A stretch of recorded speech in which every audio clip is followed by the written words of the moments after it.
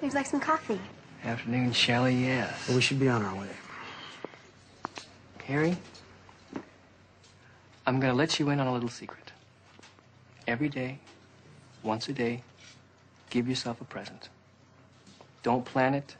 Don't wait for it. Just let it happen. Could be a new shirt at the men's store, a cat nap in your office chair, or two cups of good, hot black coffee. Like this. A present. Like Christmas.